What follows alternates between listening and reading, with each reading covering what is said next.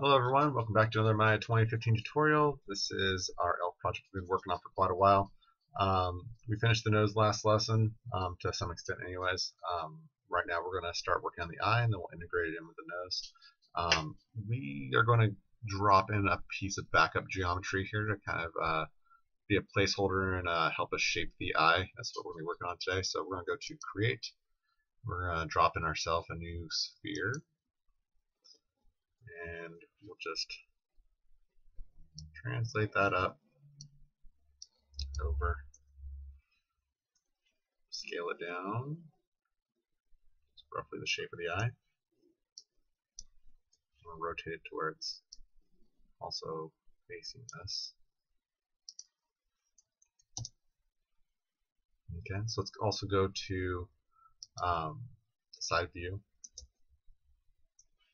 bring it forward so it's in the right position, or it's not really going to help us at all. Okay, about like that.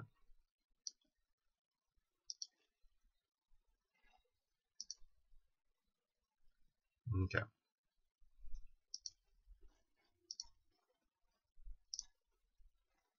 Make sure it's not going to pass eyes here. Okay, should do it. Um, Might make it just a little bit bigger. It kind of fills up that. Yeah, that's a little more like it. Okay. Alright, so now I'm going to go to my front view here, and I'm going to draw in the geometry I want for right here. Um, I'm going to turn this into a live surface so that as I quad draw, it'll kind of work its way around the sphere a little bit. Okay. Turn on modeling toolkit. Uh, this one here. Turn on quad draw. And we're going to draw in some of our geometry for our eye here.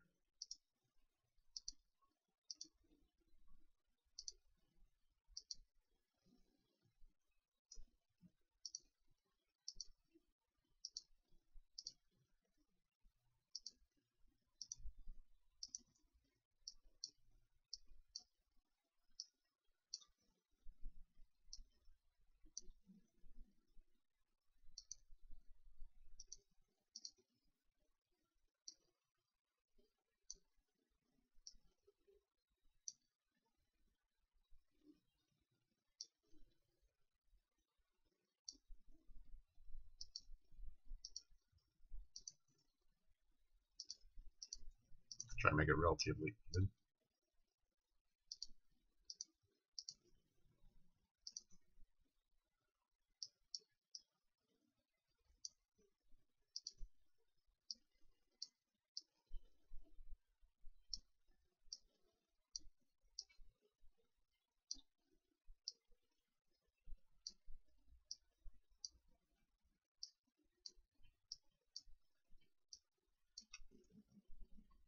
Okay, I think that almost works. Let's hop over into our Okay, so it works from our front view. Let's go ahead and adjust it so it works from our side view as well.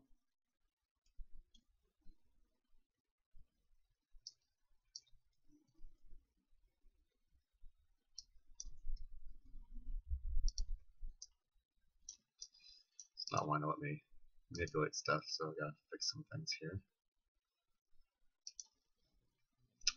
I want to keep both of them open because when you're looking at from the side view here, um, this edge over here,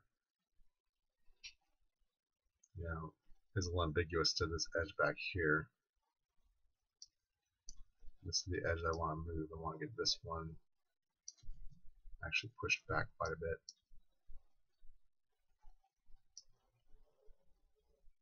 This one to be back over here.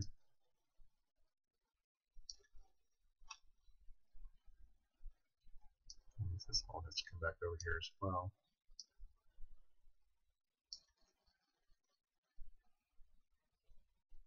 And this is like where you'll kind of start seeing that, like you know, that the reference image and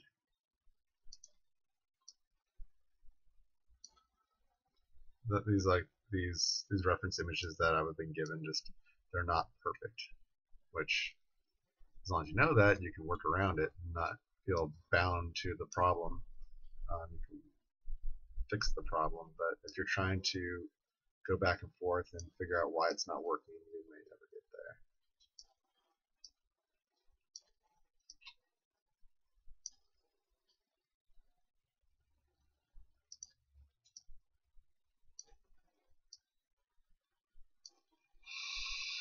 Okay, um, let's see here.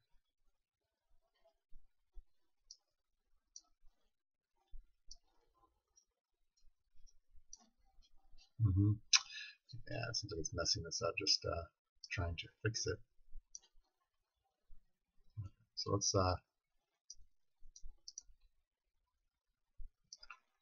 take this part, take this sphere here, turn off uh, live surface because right now it's not freeze transforms. It's not really helping me currently. Um, so I need to push it back so that I can fix this geometry a bit. Helped me initially, but now it's it's hurting, not helping. Okay, so let's go ahead and fix it from the front view, and then I'll bring that sphere back in later on and have it help me finish the last part.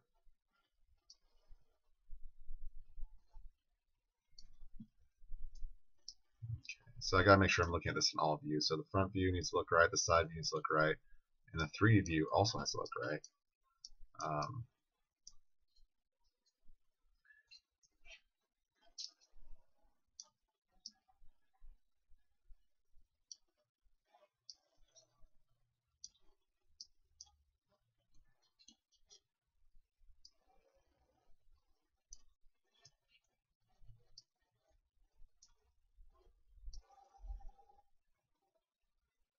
Yes, that's part of what was going wrong.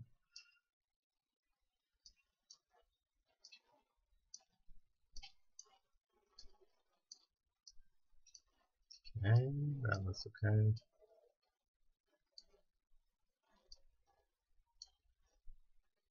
Okay, so let's see what we're looking at over here. So, alright. Um, I feel that as far back as the eye is going, that may not work. But let's go ahead and, I mean, this is a, supposed to be cartoon-ish, but I just want to make sure that we're not going too far in the wrong direction. It's just a work in 3D, so let's go ahead and add an edge loop here.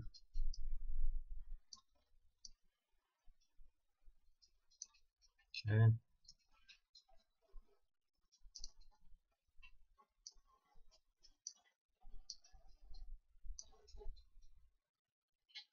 It still works over there. Let's go ahead and pull in these as well.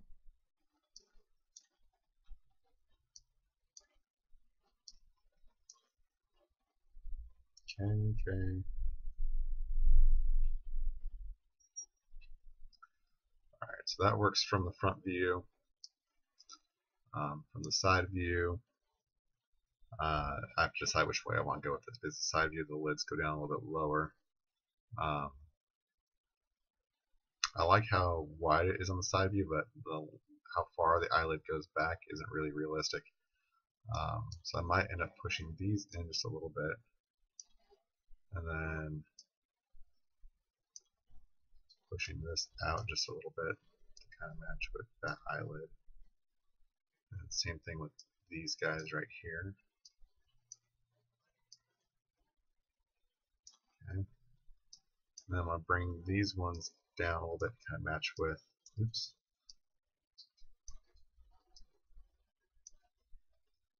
the curvature underneath the eyelid. Okay.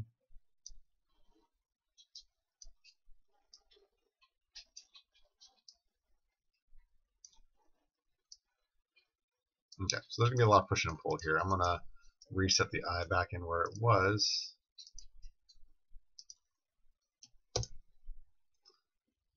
there, so that's too far forward.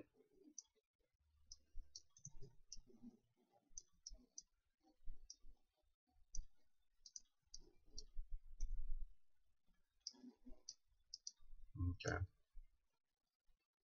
Let's go back in. I'm going to go ahead and start, uh, just for time's sake, since we're already 10 minutes in, I don't have a whole lot of geometry to show for it. Um, I'm going to go ahead and start fleshing out the rest of underneath the eye and above the eye kind of get this socket kind of defined. And then from there,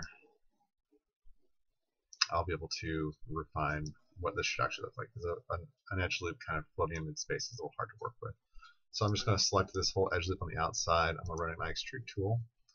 And I'll just extrude out and create that cavity for where the eye should be.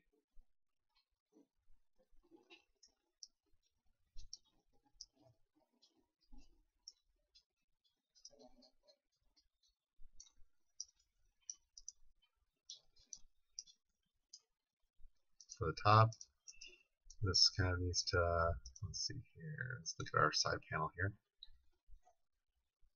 Doesn't really show us a whole bunch, but this is supposed to go up to where the eyebrow is.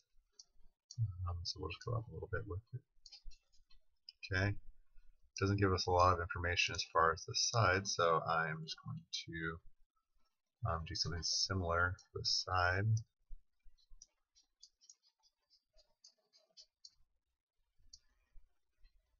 Okay, but I do know that um, if you look at your eyes, that as it gets to the side of your eye, um, that cavity kind of starts to flatten out to where it turns into the side of your head. so I will just adjust that shape as well. You know, these ones also go down. This whole area here kind of flattens out as it gets to the side of your head.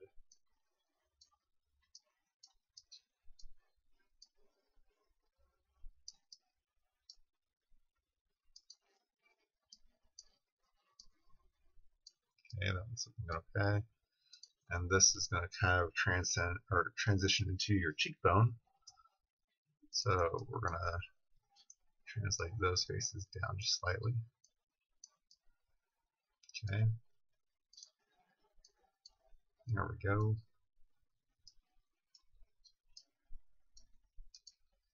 It's looking okay. Now I'm going to go ahead and combine these two pieces of geometry in so I can start working the geometry into the nose. So I'll select both of them, combine them. If I decide later on that I didn't like that idea, then I can always go through and extract and change that. Um, so let's go and do the simplest things first, which would be attaching these areas. Um, so I'm going to go to my modeling toolkit again. I'm going to do target weld. I'm going to take this uh, edge here and attach it into that spot take this one, attach it over here. Um, this one here I don't want to attach in quite yet. Um, reason being is because I might want to actually have um, my edge flow continue on around here, which I'll have to have it connect to some of these faces. So I'm not going to jump to that one quite yet. Um, I do want to build up the brow area, and then I'll be able to start working in the rest of the details for the eye. Let's see what we're looking at so far here. Let's move this out. Okay, that's looking alright. Um, we could already actually add in a little bit of the details for the eye. Um, we can grab this edge loop here, um, extrude this whole part here together just a little bit, like so. Okay. Hit G and push it back a little bit further, and then flare it out just a little bit.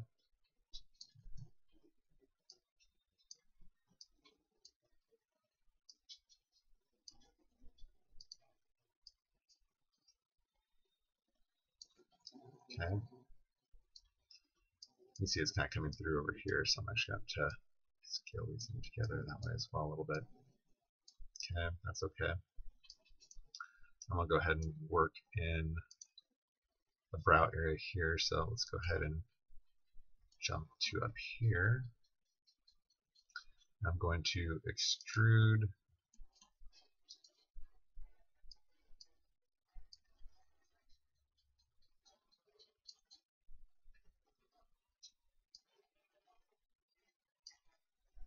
So I'm working all my views here. I have to use all of them so I can make sure that the definition is staying correct. So I'm trying to get up to the brow area. Um, narrowing it a little bit. But I need to make sure that looks right over here as well. Okay, and that looks okay, I think, for now.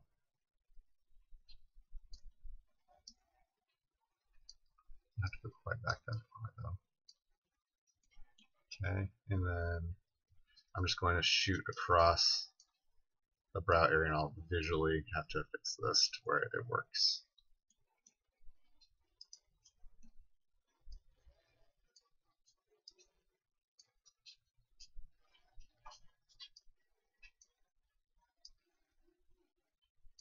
Okay. Obviously from this view it doesn't work at all. Um, I'll have to bring that over here and and back to edge mode, grab this one and translate that one straight back to where it matches up.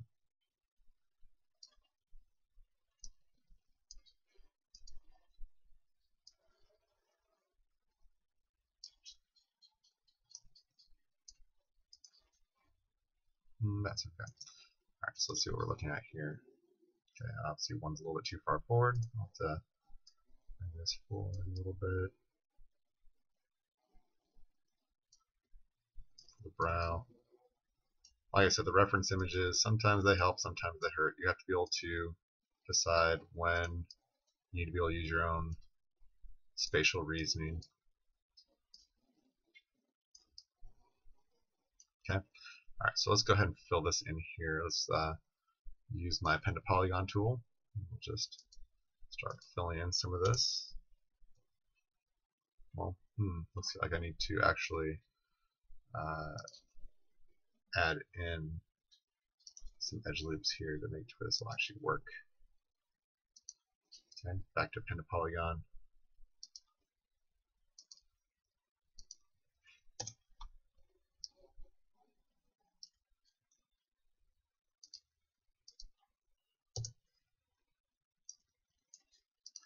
This edge here needs to be, I mean it's the, the ridge of the brow, so I don't want to soften it too much, but it has to flow.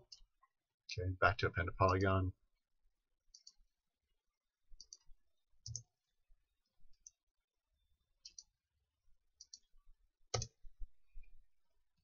Okay, now we're getting into where we're going to have to actually extrude off to be able to continue this edge flow. So we'll just extrude this.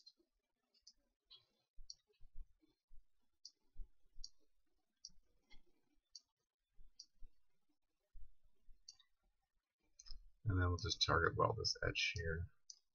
There we go.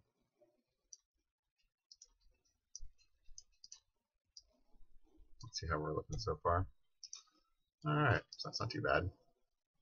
Uh, obviously, we'll have to do some more adjusting. The, this isn't even close to being ready yet.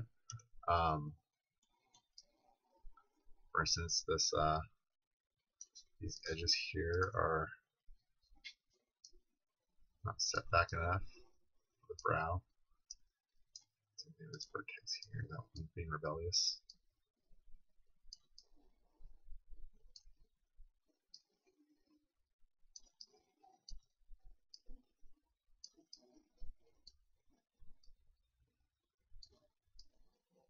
That looks a little more smooth. Um, now that we have this loop here, we can actually add in an extra loop here. That will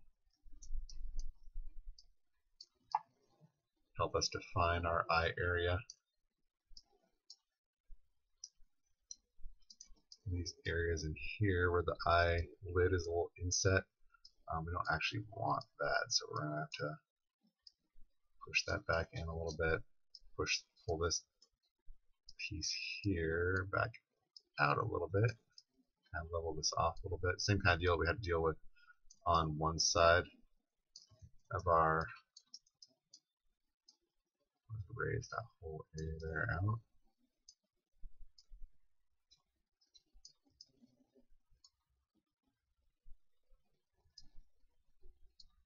Okay.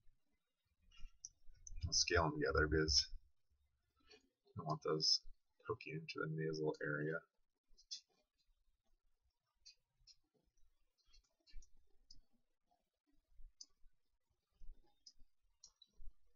Okay, let's check that. Okay, we're getting there. Next we want to also add in an edge loop more near this area. so it'll help define our eyelid area.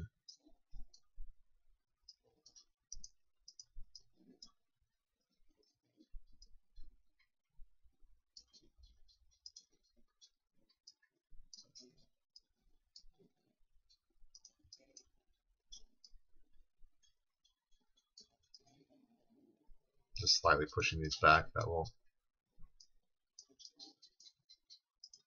help make the eye a little bit more defined.